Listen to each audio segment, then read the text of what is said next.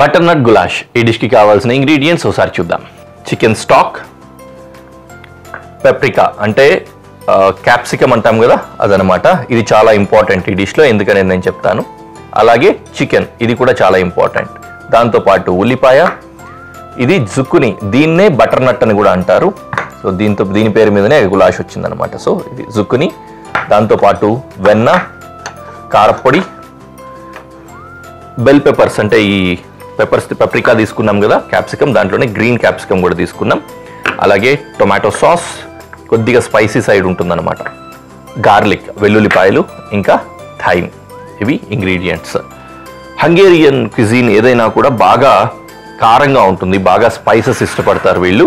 అందుకనే ఇది కూడా బాగా స్పైసీగా ఉంటుందన్నమాట. కారపొడి డైరెక్ట్గా వాడేస్తాం చూసారా? ఈ యూరోపియన్ స్టైల్స్లో వేరే కంట్రీస్లో దేంట్లో కూడా ఇంత విరివిగా కారపొడి గట్రాలు అట్లా వాడేయరు. ఎక్కువ పాప్రికా పెప్పర్ వాడతారు అనమాట అంటే ఈ మిరియాలు మిరియాల పొడి కొద్దిగా వాడుకుంటారు. కానీ కారపొడి వీళ్ళే వాడతారు. మెక్సికన్స్ వాడతారు వీళ్ళు వాడతారు ఈ విధంగా ఉంటుందన్నమాట. బట్ ఎస్ మనం వంటలోకి మొదలెట్టేద్దాం. ఫస్ట్ కటింగ్స్ చేసుకొని తర్వాత కుకింగ్కి వెళ్ళిపోదాం. చికెన్ కుక్ చేయడం స్టార్ట్ చేసుకుందాం. ఎందుకంటే చికెన్ కుకింగ్ స్లో అవుతుంది కాబట్టి ఫస్ట్ అది వేసేస్తే అలా వేడవుతూ ఉంటుంది. దేంట్లో కుక్ చేద్దాం? బట్టర్లో కుక్ చేద్దాం. సో పొయ్యి వెలిగించి పెనం పెట్టుకొని వెన్న వేసేసాము. అది కరిగిన తర్వాత చికెన్ అందులో వేద్దాం. ఈలోపు వెల్లుల్లిపాయల్ని చాప్ చేసుకుందాం.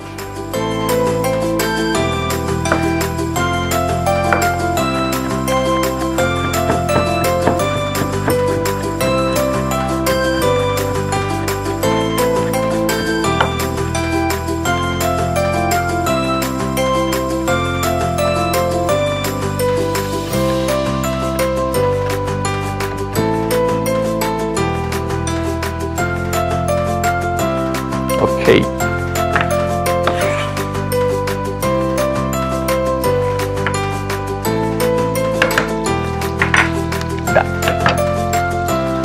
బటర్ కరిగింది ఇందులో చికెన్ వేస్తున్నా. వెల్లుల్లిపాయలు చాప్ చేసుకున్నాం అలాగే ఆనియన్ కట్ చేసుకున్నాం. ఆనియన్ డైసెస్ కట్ చేస్తున్నాం. జస్ట్ స్ట్యూ కోసం ఎలాగైతే చేసుకుంటామో అదే పద్ధతి అనమాట అందుకని డైసెస్ చేస్తున్నాను.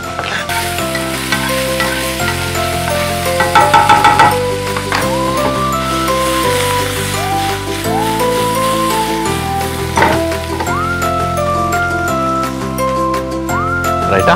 ఇప్పుడు ఇందులో గార్లిక్ వేసాను అలాగే ఆనియన్ వేస్తున్నాను.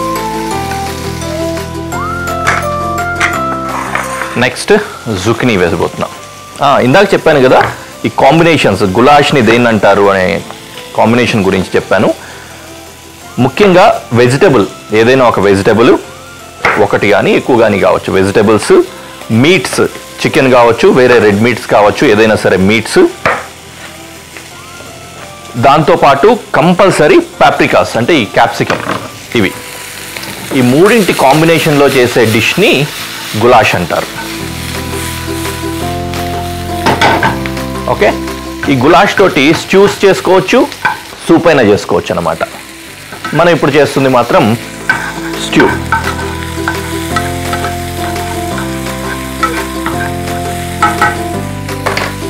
ఇక్కడ ఇంకో పొయ్యి కూడా వెలిగించుకుంటున్నాను.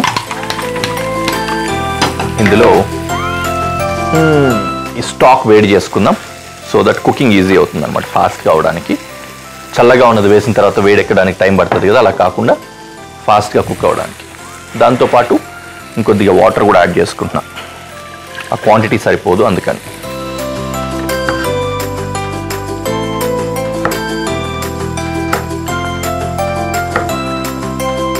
జ్యూస్ని కట్ చేసాం డిష్లో వేసేసుకున్నాం.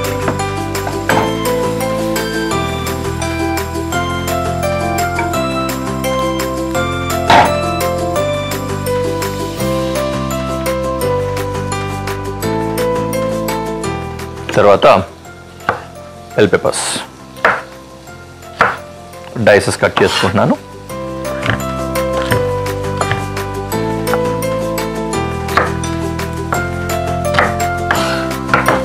గ్రీన్ బెల్ పెప్పర్స్ కట్ చేసుకున్నాం. And then red bell peppers కూడా కట్ చేసుకున్నాం.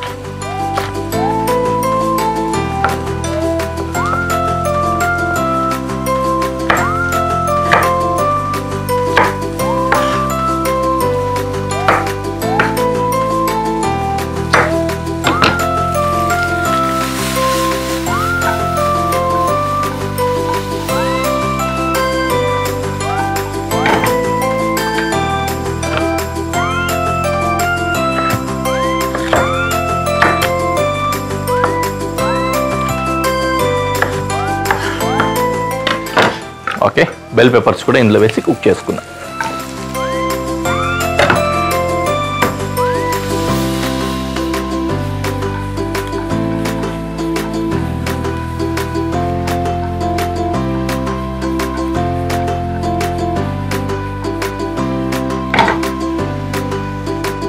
కొద్దిగంత సాల్ట్.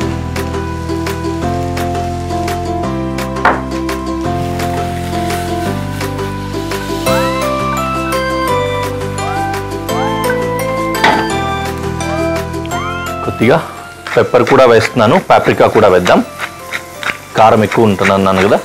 లేదు పెప్పర్ స్మెల్ కానీ ఆ ఫ్రేగ్రెన్స్ కానీ మీకు అవాయిడ్ చేయాలనిపిస్తే పెప్పర్ అవాయిడ్ చేసుకోండి. పాప్రికా కారపొడి.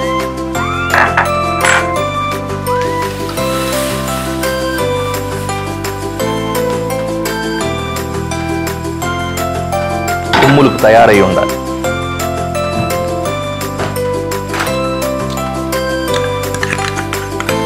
Tomato sauce. ఇది కూడా స్పైసీ సాసే. కొంచెం కారంగా ఉండేదే వాడతాం. రైట్ దెన్ స్టాక్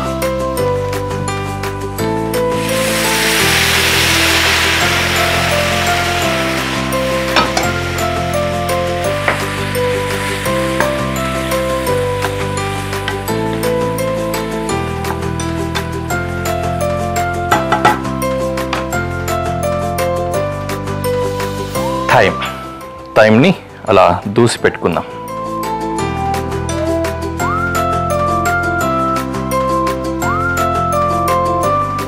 ఇది రివర్స్లో తీయాలి. లేతగా ఉంది కాబట్టి రివర్స్లో తీసినా కూడా అంతే వస్తుంది. తెగిపోయి.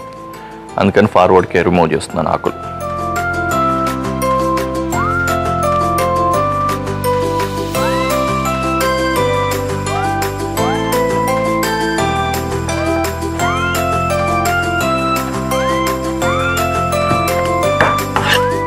టైం కొద్దిగా వేసినా కూడా చాలా స్ట్రాంగ్ ఫ్లేవర్ ఉంటుంది. అందుకని తక్కువ వేస్తాం మనం టైం వేసేటప్పుడు. చాలా ఎక్కువ ఫ్లేవర్ వస్తుంది అనమాట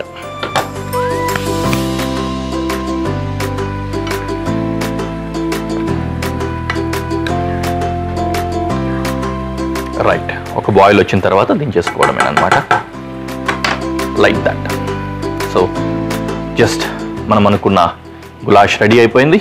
Let's go for presentation.